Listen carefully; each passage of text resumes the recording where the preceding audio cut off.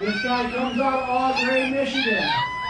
Kyle Edmonds out of K&K Automotive, following the footsteps of his father and his grandfather. I think you were last year's track champion, am I wrong? You're wrong. 16 17. 16 17, I stand corrected. Uh, what's your thoughts tonight? You don't think it's going to happen? Well, good luck, sir.